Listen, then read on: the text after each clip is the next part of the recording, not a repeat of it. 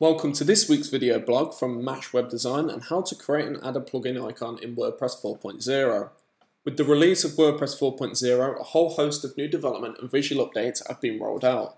One of the main updates implemented has been the visual improvements made to the plugin installer. In this tutorial, I'll be teaching you how to create the perfect icon for your plugin and how to ensure it appears next to your plugin within the installer. As you can see, the plugin installer's new grid layout allows a lot more information to be displayed about your plugin. It also allows users to make a better informed decision about what the plugin is uh, what plugin is right for their website. Plugin icons will appear within the installer at 128 pixels square. You can either save your icon as a PNG, JPEG or SVG and all will display fine.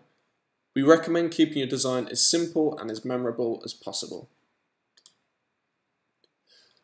If we take a look at the icon we created earlier, it's extremely basic and simple, yet works as a good reputation of what the plugin does. I personally recommend designing your icon at 256 pixels square as retina icons are also supported. The following guidelines will help you create the perfect plugin icon. Keep the design simple. Avoid the use of text. When the icons are scaled down to smaller sizes, your text may become unreadable and blurry, and it may also deter users who do not speak your language. Optimize your image to improve load speeds. Here at MASH we use ImageOptim. Ensure you do not use WordPress logo within the icon design. And this icon is about your plugin, not an advertisement for your business. As long as you follow these guidelines, you'll have a perfect plugin icon in no time at all. Be sure to save your plugin icon in your plugins assets folder Choosing the correct file name is extremely important. You'll be able to find the correct file names to use in the supporting blog post, but in this case I'll be using this.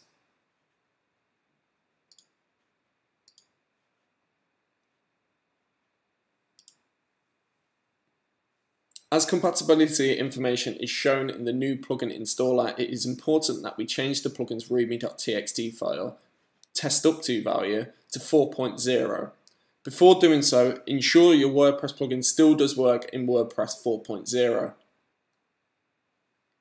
If you already have a plugin on the WordPress codex, then you should be familiar with accessing your plugin's SVN repository. If you aren't, or you can't remember how to, then you can find more information about accessing your plugin on the WordPress website.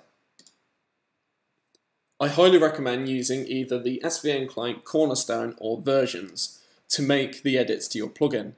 In this tutorial, I'll be using Cornerstone. All you simply have to do is click into your folder, highlight it, and drag it into your folder. It'll ask you to come up here. It will also ask you for a log message. So choose something which is relevant to what the update you've made.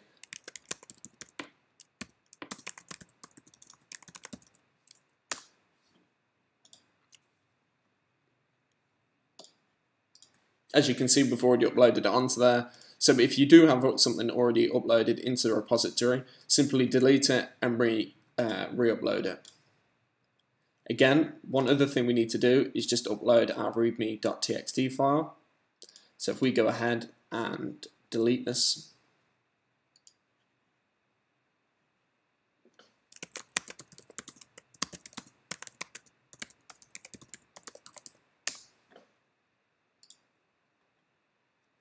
And then if we go over, find our new readme.txt file and drag it in.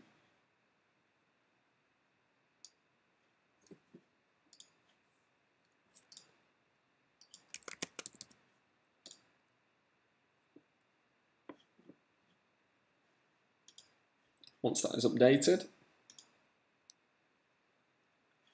we'll allow that to update, but what we should do now is just head over to uh, your WordPress 4.0 installation and search for your plugin.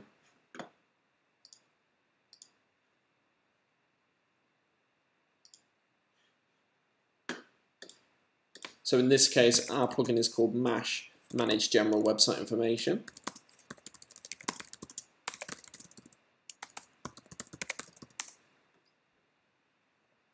And you'll now be able to see your plugin. You can also see that it's compatible with your version of WordPress, so the readme.txt is uploaded correctly along with the icon. Okay, so that uh, concludes our video blog for this week. Um, if you've got any questions, please add them to the supporting comments.